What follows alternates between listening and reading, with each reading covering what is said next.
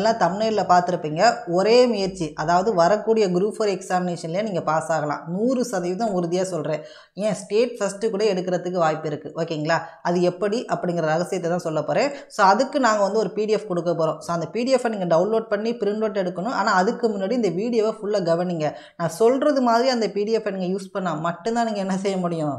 அந்த எக்ஸாமினேஷனை கிளியர் பண்ண முடியும். சும்மா பிடிஎஃப் மட்டும் டவுன்லோட் பண்ணி வச்சுக்கிட்டா இங்கே சக்ஸஸ் பண்ண முடியாது. ஏன்னா இதில் பிடிஎஃப்ல வந்து விஷயம் கிடையாது. அதில் நீங்கள் எப்படி ஃபாலோ பண்ண போகிறீங்க அதை எப்படி எடுத்துகிட்டு போக போகிறீங்க அப்படிங்கிறது ரொம்ப ரொம்ப முக்கியமான விஷயம். அதுக்காக தான் இந்த வீடியோவை கடைசி வரை ஸ்கிப் பண்ணாமல் பார்க்கணும். ஓகேங்களா? இப்போ இந்த சாதாரண ஒரு பேசிக் எக்ஸாமினேஷன்லேருந்து யூபிஎஸ்சி ஓகேங்களா? இந்தியாவிலேயே மிக டஃபஸ்ட் எக்ஸாம் பார்க்கக்கூடிய யூபிஎஸ்சி எக்ஸாமினேஷன் வரையும் பாஸ் ஆனவங்க வந்து நிறைய பேர் இருப்பாங்க இல்லையா? அதுவும் நிறைய டிஃப்ரெண்ட் கேட்டகரி ஸ்டூடெண்ட்ஸ் இருப்பாங்க. ஒருத்தவங்க ஹவுஸ் ஒய்ஃபாக இருந்து பாஸ் பண்ணியிருப்பாங்க ஒருத்தவங்க ஃபுல் டைம் படித்து பாஸ் பண்ணியிருப்பாங்க. இப்படின்னு நிறைய டிஃப்ரெண்ட்டில் பாஸ் ஆகிருப்பாங்க அதே மாதிரி ஒவ்வொருத்தவங்களும் அந்த ப்ரிப்பரேஷன் பண்ணுற மெத்தடு கூட வேறு மாதிரி இருக்கும். ஓகேங்களா?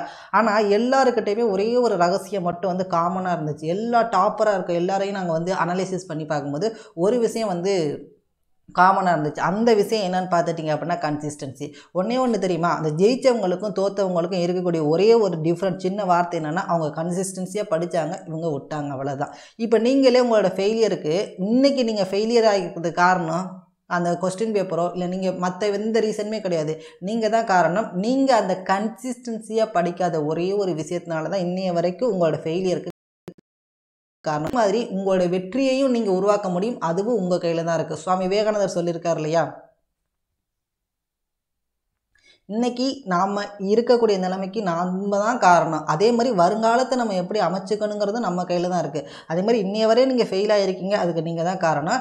ஆனால் அதை மாற்றி உங்களோட வெற்றிகளையும் உங்களால் உருவாக்க முடியும். அதுவும் உங்கள் கையில் தான் இருக்குது அதற்கு உங்களுக்கு ஃபஸ்ட்டு முக்கியமான பண்பு என்ன அப்படின்னா அந்த கன்சிஸ்டன்சி ஸோ அந்த கன்சிஸ்டன்சியை நீங்கள் கரெக்டாக ஃபாலோ பண்ணணும். ஃபாலோ பண்ண வைக்கணும் அப்படிங்கிறதுக்காக தான் நாங்கள் வந்து ஒரு மிக மிக புதிய முயற்சியாக என்ன செஞ்சுருக்கோம் அப்படின்னா குரு ஃபோர் ரிமைண்டர் கேலண்டர் அப்படிங்கிற ஒரு விஷயத்தை கொண்டு வந்திருக்கோம். ஓகேங்களா? இது என்ன சார்? இதை எப்படி சார் யூஸ் பண்ணணும் அப்படின்னா இதுதான் ரொம்ப ரொம்ப முக்கியமான ஒரு விஷயம். நல்லா கவனிங்க. இதுக்கப்புறம் நான் சொல்லக்கூடிய ஒவ்வொரு வார்த்தையும் ரொம்ப முக்கியம். ஸோ உங்களுக்கு புரியலைன்னா திரும்ப திரும்ப கேளுங்க. டெய்லி கூட இந்த வீடியோ அப்பப்போ ஒரு கொஞ்சம் நேரம் எடுத்து கேட்டு பாருங்கள் ஏன் இந்த இந்த கேலண்டர் வந்து ரொம்ப முக்கியம் அப்படிங்கிறது உங்களுக்கு அப்போ தான் வந்து புரியும்.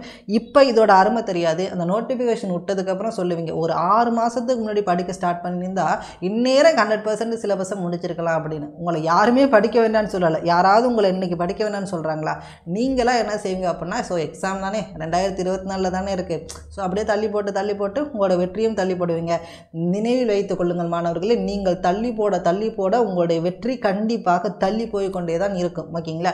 நீங்கள் எந்த அளவுக்கு நீங்கள் வந்து அதை நோக்கி ஓடிக்கிட்டு இருக்கீங்களோ அந்த அளவுக்கு அது உங்களை நோக்கி ஓடி வரும் அப்படிங்கிறத ஞாபகம் வச்சுக்கோங்க. ஓகேங்களா? சரி ஓகே இந்த பிடிஎஃப் எப்படி யூஸ் பண்ணணும் அப்படிங்கிறத நான் சொல்ல போகிறேன் நல்லா பொறுமையாக கவனிங்க. இது வந்து குரூப் ஃபோர் ரெண்டாயிரத்தி இருபத்தி நாலுக்கான ரிமைண்டர் காலண்டர் அதாவது டிசம்பர் இருபத்தி ஆறுலேருந்து நவம்பர் ஒன்றாம் தேதி வரை இந்த காலாண்டர் வந்து நான் உங்களுக்கு வந்து ரெடி பண்ணி கொடுத்துருக்கேன். ஓகேங்களா? நவம்பர் ஒன்றாம் தேதி வரை இந்த காலாண்டர் ரெடி பண்ணியிருக்கேன். ஃபஸ்ட்டு ஏன் நவம்பர் ஒன்றாம் தேதி வரை காலாண்டர் ரெடி பண்ணியிருக்கேன் அப்படின்னா நவம்பர் மாதம் நம்மளுடைய ஆனுவல் பிளானர் படி நவம்பர் மாதம் நமக்கு குரூப் ஃபோர் நோட்டிஃபிகேஷன் வரணும். அதாவது குரூப் ஃபோர் எக்ஸாமினேஷனில் நம்ம பாஸா ஃபெயிலா அப்படிங்கிறது நமக்கு நவம்பர் மந்தே தெரிஞ்சிடும் யாரெல்லாம் ஒருத்தவங்க நவம்பர் மந்த்துக்குள்ளே அட்லீஸ்ட் ஓகேங்களா எயிட்டி பர்சன்டேஜ் சிலபஸை தெளிவாக முடிச்சிருக்கணும். முடிக்கிறதுங்கிறது வேறு தெளிவாக முடிக்கிறதுங்கிறது வேறு. எயிட்டி பர்சன்ட் சிலபஸ்னால் இப்போ ஹிஸ்ட்ரியில் வந்து நீங்கள் ஹண்ட்ரட் பர்சன்டேஜ் நீங்கள் முடிக்க வேண்டாம் ஒரு இம்பார்ட்டண்டான ஒரு எட்டு யூனிட் இருக்கு இல்லையா? சிந்து நகரியம் குப்தர்கள் டெல்லி சுல்தான்கள் முகாலயர்கள் இந்த மாதிரி ஒரு எட்டு யூனிட் இருக்கும் இல்லையா? அந்த எட்டு யூனிட்டில் கொஸ்டின் கேட்டால் நீங்கள் அடித்து தான் ஆகணும். அது எவ்வளோ கஷ்டமாக இருக்கட்டும். அது ஐஏஎஸ் லெவல் கொஸ்டினாக இருந்தால் கூட இருக்கட்டும் ஓகேங்களா? குரூப் ஒன் லெவல் கொஸ்டினாக இருந்தாலும் இருக்கட்டும். நீங்கள் ஆன்சர் பண்ணணும். அந்த எயிட்டி பர்சன்டேஜ் சிலபஸ் ஓகேங்களா இம்பார்ட்டன்ட் சிலபஸ் எயிட்டி பர்சன்டேஜ் நீங்கள் கவர் பண்ணிட்டீங்கன்னாவே நீங்கள் வந்து கண்டிப்பாக பாஸ் பண்ணிடலாம். ஓகேங்களா தெளிவாக இருக்கணும். ரிவிஷன் பண்ணி ஃபுல் டெஸ்ட் வைக்கிற அளவுக்கு நீங்கள் தெளிவாக இருக்கணும். அப்படி இருந்தீங்கன்னா நீங்கள் பாஸ் ஓகேங்களா இதுதான் ஃபஸ்ட்டு எப்போ நவம்பர் மாதத்துக்குள்ளே ஏன்னா அந்த நோட்டிஃபிகேஷன் விட்டதுக்கப்புறம் வந்து நீங்கள் புதுசாக ப்ரிப்பரேஷனே பண்ணக்கூடாது. இந்த எட்டு மாதம் நீங்கள் இப்போ இந்த பத்து மாதம் நீங்கள் படித்து வச்சுருப்பீங்க இல்லையா?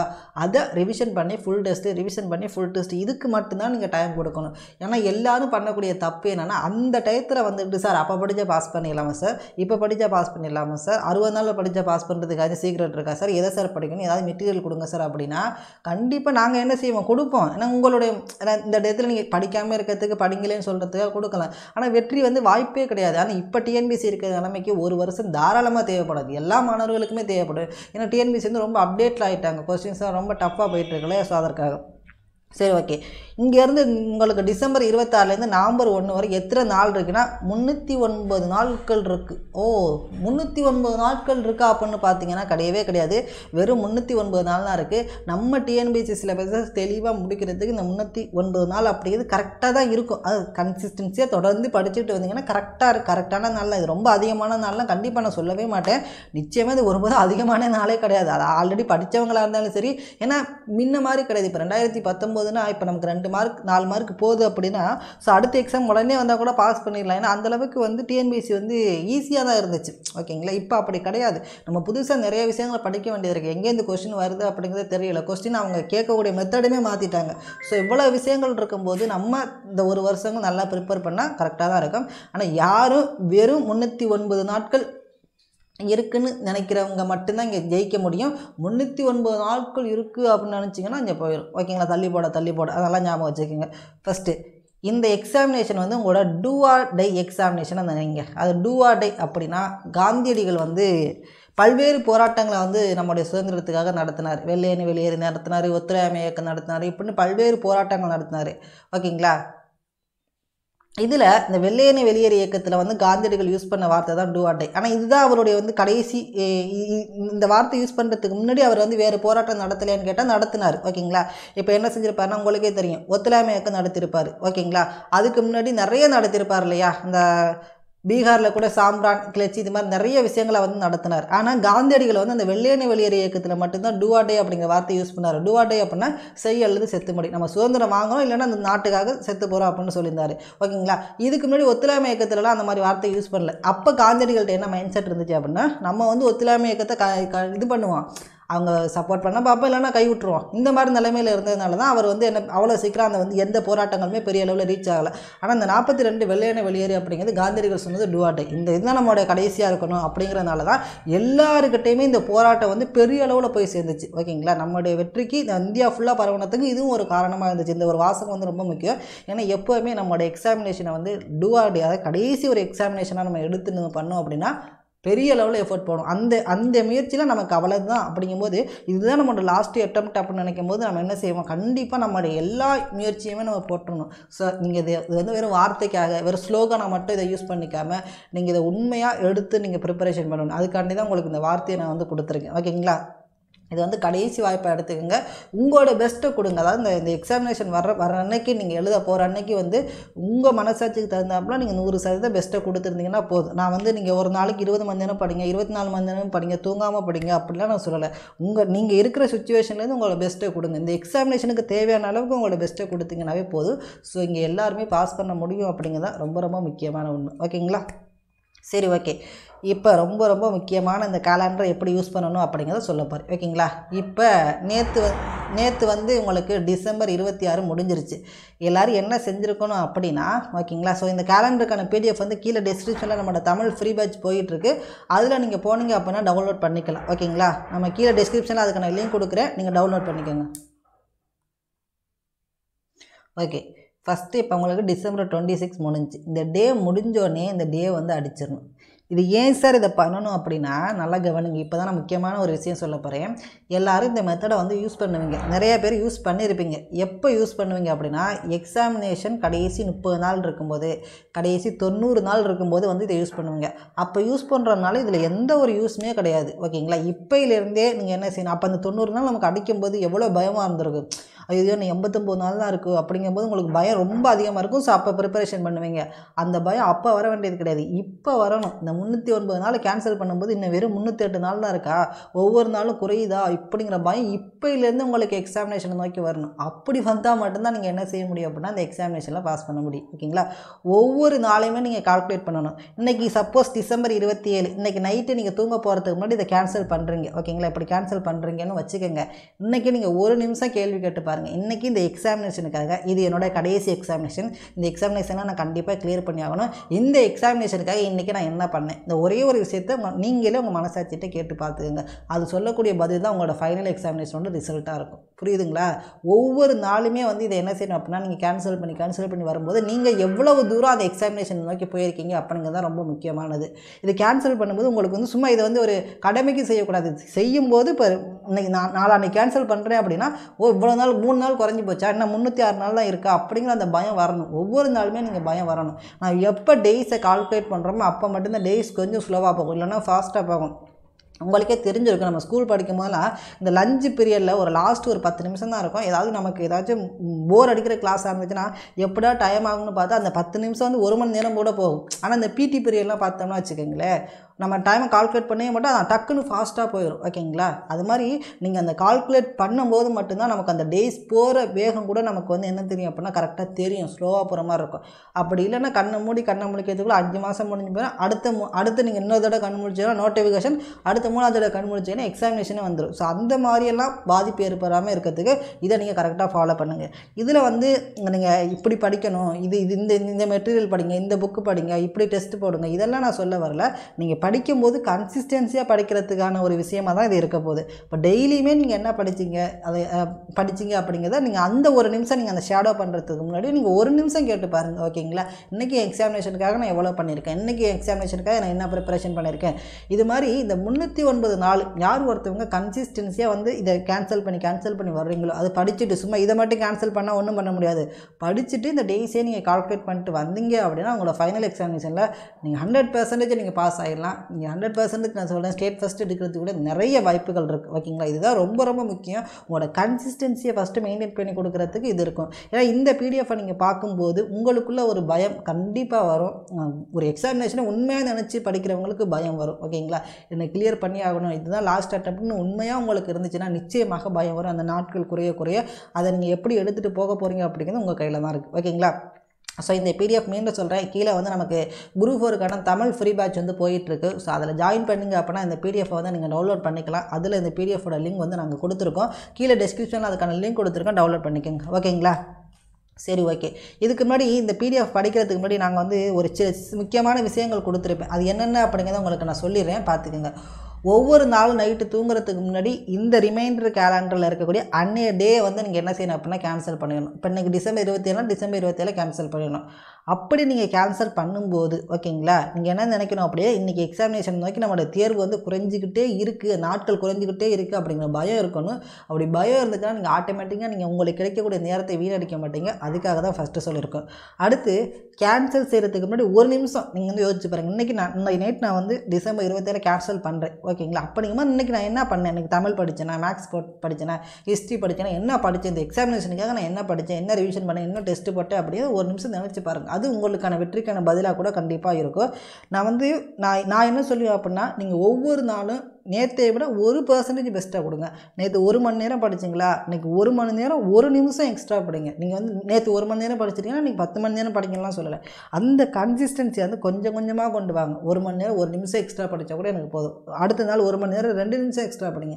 ஆனால் ஒருபோது இன்றைக்கி ஒரு மணி நேரம் படிச்சுட்டு நாளைக்கு அரை மணி நேரமாக மட்டும் ஆக்குறாதீங்க இந்த குறையை மட்டும் எப்போவுமே விட்றாதீங்க ஒரு ஒரு மார்ஜின் வச்சுக்கிட்டிங்கன்னா அதை கன்சிஸ்டன்ஸியாக கொண்டு போயிட்டே இருக்கணும். அதை அதிகரிக்கிற அளவு மட்டும் வந்து பார்த்துக்கிட்டே இருங்க. ஓகேங்களா? எல்லாருக்குமே வந்து இங்கே இலக்கு வந்து பெருசு. நீங்கள் ஸ்டேட் ஃபஸ்ட்டு எடுக்கணும் இல்லை கவர்மெண்ட் ஜாப் வந்து வாங்கணும் அப்படிங்கிறது இலக்கு வந்து ரொம்ப பெருசாக வச்சுருக்கீங்க. ஸோ எப்போவுமே இலக்கு நமக்கு பெருசாக இருக்கும்போது நம்ம அதற்கான முயற்சி அப்படிங்கிறது அதை விட நம்ம பெருசாக இருக்கும் நம்ம லெவல்லேருந்து ஓகேங்களா உங்கள் லெவலில் நீங்கள் என்ன இருக்கீங்களோ அதை தாண்டி நீங்கள் எஃபர்ட் போடுங்க.